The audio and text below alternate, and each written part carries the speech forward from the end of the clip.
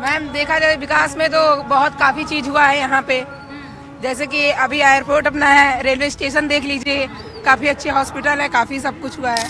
इनका मतलब एयरपोर्ट और ये रेलवे स्टेशन जो कि बना है अभी नया इसमें लोगों का बिज़नेस ही बढ़ेगा और ठीक? जी ने हम लोगों ने मोदी जी को बहुत पास से देखा। बहुत अच्छा लग रहा है क्योंकि हमारे घर के पास ही रहेगा और सर जहाँ भी जाना होगा हमें अपने आप से बाइक लो उठाओ चल दो।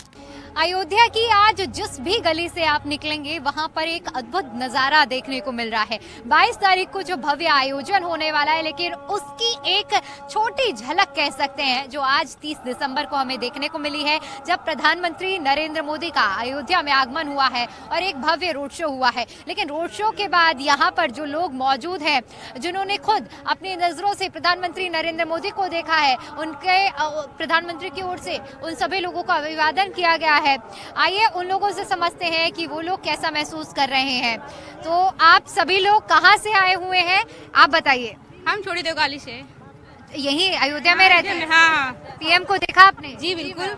आपने देखा? यस मैम कितने पास से? मैम बहुत पास है अच्छा क्योंकि आप लोग अयोध्या से हैं तो अयोध्या के तर्ज पर मैं समझना चाहूँगी कि रेलवे स्टेशन का एक पुनर्विकास हुआ है। अब आप लोगों को भव्य रेलवे स्टेशन यहाँ पर मिलेगा अत्याधुनिक सुविधाओं से। कैसा महसूस कर रही हैं? मैम बहुत अच्छा लग रहा है क्योंकि हमारे घर के पास ही रहेगा और सर जहाँ भी जाना होगा हमें अपने आप से बाइक लो उठाओ चल दो अगर बात की जाए कि क्या अयोध्या बदल रहा है इस सवाल का जवाब आप क्या देना चाहेंगे बहुत विकास हुआ है मैम बहुत। यहाँ पे आप खुद देख सकती हैं यहाँ कितना विकास हुआ है।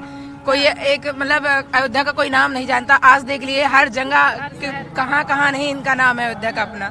हम लोग को बहुत अच्छा लग रहा है। के डेफिनेशन क्या देना चाहेंगी आप? मैम देखा जाए विकास में तो बहुत काफ़ी चीज़ हुआ है यहाँ पे। जैसे कि अभी एयरपोर्ट अपना है रेलवे स्टेशन देख लीजिए। काफ़ी अच्छे हॉस्पिटल है काफ़ी सब कुछ हुआ है। मतलब खुश हैं? बहुत बहुत। मैम बहुत ज़्यादा खुश है। बच्चे किस क्लास में पढ़ते हो? फिफ्थ क्लास खुश हो आप? अयोध्या जिस तरह से बदल रहा है। बहुत खुश क्या बदलाव देखा है आपने? हम्म, रेलवे स्टेशन बदला हुआ है और नया एयरपोर्ट बन गया है। जन्मभूमि बन रहा है और इतने सारे कार्यक्रम मोदी जी ने हम लोगों ने मोदी जी को बहुत पास से देखा। अच्छा उसकी खुशी भी है क्योंकि पीएम को आज इतने करीब से देखा है तो बच्चों में तो उत्साह लाजमी है। जहाँ बड़ों में इतना उत्साह होता है तो छोटे बच्चों का अलग ही होता है आप कहाँ से आई हैं शो में हिस्सा लिया आपने। पीएम को नहीं देख पाई चूक गई हैं। आप लोगों ने आप लोगों की खुशी बता रही है, जो जैसे हँसते खेलते अयोध्या बदल रही है, दिन प्रतिदिन आप लोग किस तरह से देखते हैं? इससे पहले अयोध्या आए हैं या पहली बार आए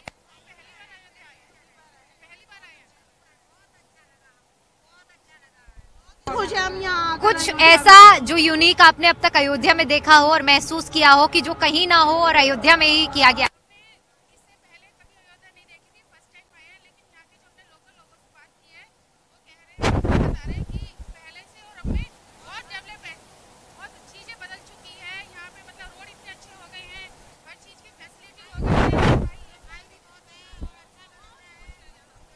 कुछ युवा भी हमारे साथ मौजूद हैं क्योंकि युवाओं की राय के बिना सब कुछ अधूरा होता है। इनसे समझते हैं। आप लोग अयोध्या से हैं या बाहर से?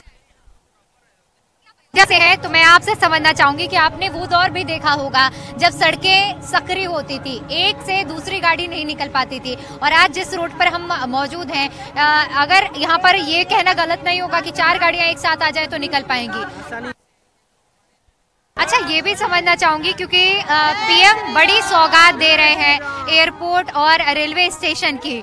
अ, उसको कितना आप महसूस करते हैं कि कितना बदलाव होगा इन बड़ी सौगातों से देखिए इनका मतलब एयरपोर्ट और ये रेलवे स्टेशन जो कि बना है अभी नया इसमें लोगों का बिज़नेस ही बढ़ेगा और ठीक है? इससे लोग और भी अपना बिज़नेस और बढ़ाएँगे, थोड़ा बहुत तरक्की पे जाएँगे। और ऐसा नहीं है कि जिनका यहाँ पे घर वगैरह टूट गया है तो उनको अपना कुछ करने का मौका ना मिला हो। बाकी ये जान लीजिए बदलाव हो रहा है बदलाव हो रहा है आपसे समझना ने बोल दिया हो अच्छा बदलाव हो रहा है। है आप बताइए। बदलाव हो रहा है। बदलाव अगर कहा जाए कि शब्दों में बयां करिए कि क्या बदलाव हुआ है कैसे बताएँगे क्या हमारी जो अयोध्या स्टेशन थी उसके लिए विकास हुआ उसके लिए जो आने जाने के बहुत दिक्कत हो रही थी दिल्ली या बम्बई अब हमको आने जाने की कोई दिक्कत नहीं बदलाव की बड़ी वजह क्या मानते हैं? देखिए जगह जगह फ्लाई ओवर बन गया है अभी चौड़ीकरण हो गया है रोड एक ही रोड था सिंगल रोड था सकरा रोड था। जाने आने में काफ़ी दिक्कत होती थी जाम लगता था। ये देखिए आपका इसका हल हो गया है। अभी राम मंदिर पता नहीं कितने सालों से नहीं बन रहा था वो भी बन के तैयार हो गया। अच्छा तीस तारीख का इंतज़ार किया जा रहा था पीएम के आगमन का। अब तीस तारीख भी आ गई है। ये तो एक झलक है। हाँ। ये तो तीस तारीख का एक झलक है। अभी ये बाईस जनवरी को जो भीड़ उमड़ेगी हाँ। उसकी बात ही कुछ अलग होगी। एक भव्य नज़ारा मोदी जी अपना हाँ। झलक दिखाने आए थे हाँ हाँ। कि इससे भी खतरनाक 22 जनवरी को होने वाला है अयोध्या नगरी में तो काफ़ी तैयार है बाईस जनवरी के? जनवरी तैयार है एकदम तैयार है।